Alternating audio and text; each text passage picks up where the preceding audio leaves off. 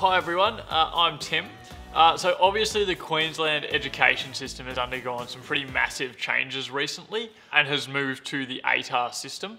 Um, so today I'm just here to have a quick chat about what the ATAR actually is. So the ATAR stands for Australian Tertiary Admission Rank and basically it ranges from 0 to 99.95 so it's used to compare students right across Australia and you receive your ATAR at the end of your QCE studies.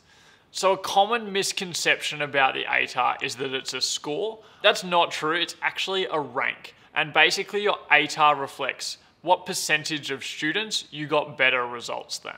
So if you get an ATAR of 95, that means you got better results than 95% of other year 12 students across Australia who did year 12 in the same year as you.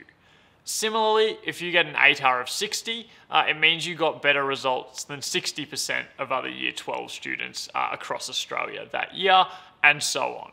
To receive an ATAR, you must complete at least five QCE studies, uh, one of which must be an English subject. Your ATAR is then calculated from the scores you receive in these five different subjects. So hopefully that clears up a little bit of confusion and best of luck for the year.